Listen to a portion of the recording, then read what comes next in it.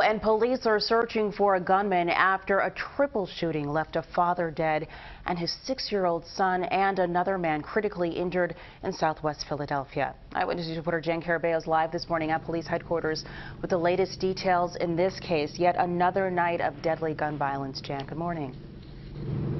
Janelle, good morning. And that six-year-old little boy is still in the hospital this morning in critical but stable condition after undergoing treatment and surgery last night. He was just one out of three people who were shot in a hail of gunfire in southwest Philadelphia.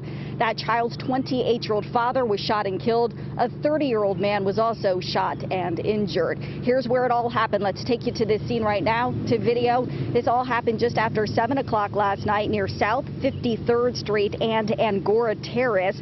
Police say those two men and that six-year-old boy were sitting in a parked car when someone opened fire, shooting at least 12 times. The 28-year-old man who was in the driver's seat was shot twice in the chest. Police say he tried to drive away but crashed into several parked cars.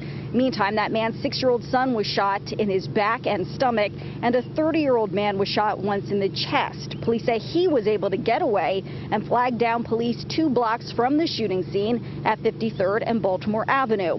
Now, all three victims were taken to the hospital, and that's where the 28-year-old man was pronounced dead. Police are now searching for the gunman as well as the motive for this attack. Police Commissioner Danielle Outlaw says it's unclear if the gunman knew there was a child in that car, and she says she's fed up with responding to scenes just like this one. Just, you know, a couple days ago, we saw a nine-year-old shot. Fortunately, the nine-year-old was only shot in the knee.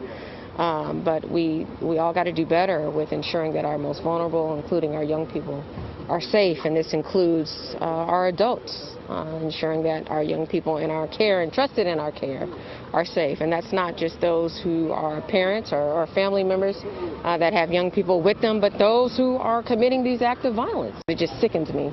It sickens all of us, and we're tired of seeing this, quite frankly.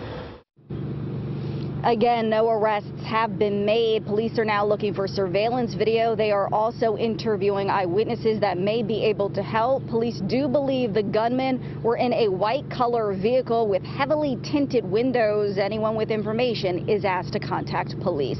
We're reporting live outside Philadelphia Police Headquarters. Jan Carabeo, CBS 3 Eyewitness News. Back into you. Thank you, Jan.